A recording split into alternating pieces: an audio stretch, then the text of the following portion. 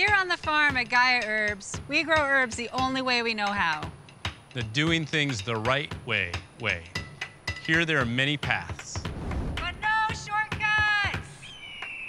Hey, wait for me. There's no rules that say we have to handpick our herbs to get all the best parts. Well, why wouldn't we? Just because it's way, way more difficult?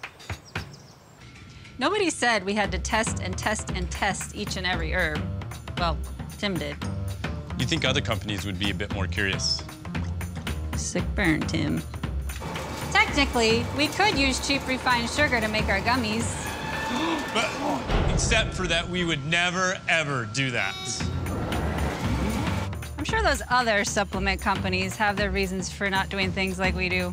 But we can't do things any other way. Because working hard means our herbs work hard for you. Ooh, pure ashwagandha? How'd you know?